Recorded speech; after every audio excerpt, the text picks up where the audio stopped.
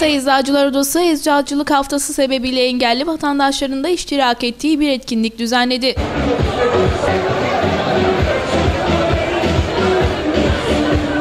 Saray Caddesi'nde yoğun katılımla gerçekleştirilen etkinlikte engelli vatandaşların yaptığı eserlerde sergilenirken buradaki amacın elde edilen gelirle birlikte engelli vatandaşların ihtiyaçları olan özel klavye ve kabartmalı yazıcı alınıp hediye edileceği de vurgulandı.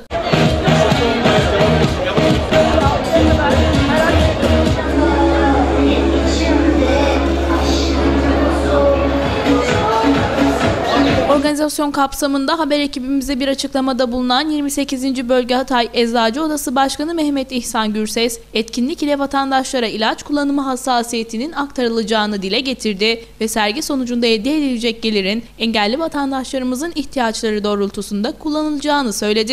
Eczacılık Bayramı haftası dolayısıyla engelli vatandaşlarımızla birlikte bu gördükleriniz engelli vatandaşların yaptıkları resimlerin sergisidir. Biz eczacılar olarak akıllı ilaç kullanımı nasıl olmalı, hastaların nasıl ilaç kullanması gerektiği için burada bir saflarımız var. Vatandaşlarımızı orada bilgilendirmeye çalışıyoruz.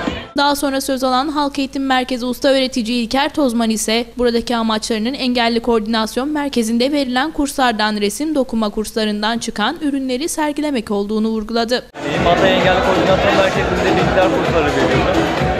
Bugün burada toplanma sebebimiz Engelli Koordinasyon Merkezi'nde verilen kurslardan resim, dokuma kurslarından çıkartılan ürünleri sergilemek.